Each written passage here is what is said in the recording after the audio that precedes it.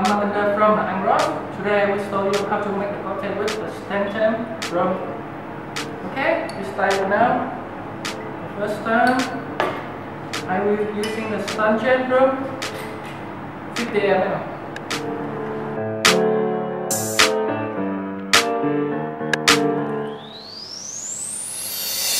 Using the passion fruit puree frozen from Andros. Try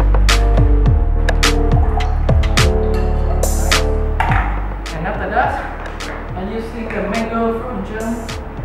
Very nice. 30 ml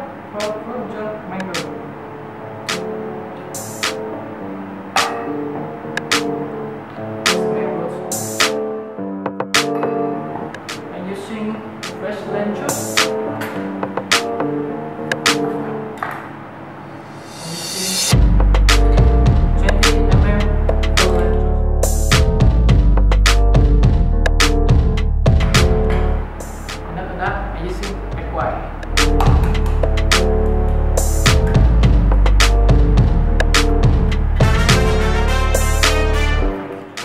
using the homemade cinnamon and clover syrup. This one.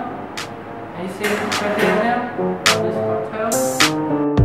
After that, I will shake right first.